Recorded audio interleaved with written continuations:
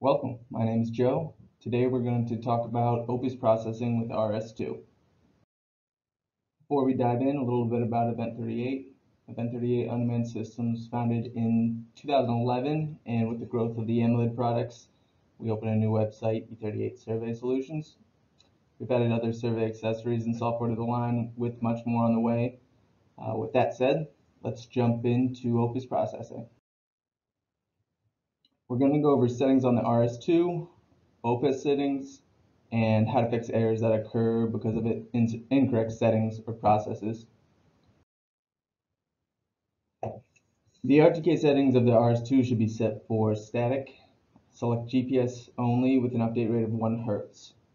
Opus only processes GPS, so adding other constellations will only hurt us by having such a large file, uh, which can, get, can give Opus trouble. With that said, if for some reason you must or have stored more constellations, that's okay. We can fix that later. In the logging settings, make sure raw data is off until you have the RS2 at the proper location. Once you have set the RS2 in that location, power on the unit and set the raw data to RINEX 2.11 and turn on raw data. Turn off raw, raw data after collecting data and before turning the RS2 off. If you don't properly toggle power, that's okay. We can fix that later. Uh, if you do not set the correct RINEX format, that's okay too. We can fix that later.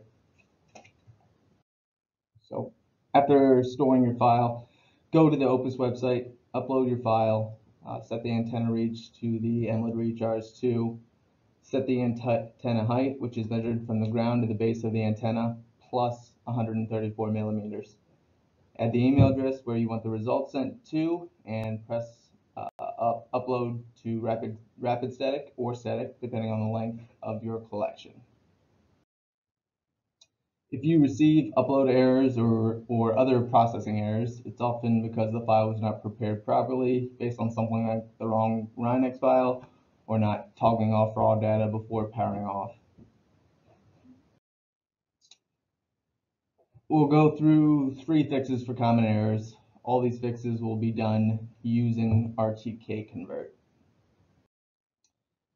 To fix improper log starting and stopping, we'll trim the ends of the RINEX file.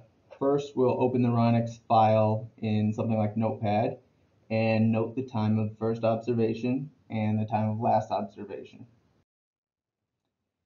In RTK convert, set the time start a few minutes after the time of first observation and set the time end a few minutes before the time of last observation. To fix an issue with too many constellations on, go to the option settings in RTK convert. Make sure the only satellite system chosen is GPS. The frequencies should be L1 and L2. To fix the issue of RINEX set to RINEX 3, go to the option settings in RTK Convert, set the RINEX version to 2.11, and after making your changes, press Convert to generate the new file, process the new file in Opus, and Opus will send an email with an Opus solution or other errors that may result may be related to data quality. Um, my name is Joe. Thanks for joining us here.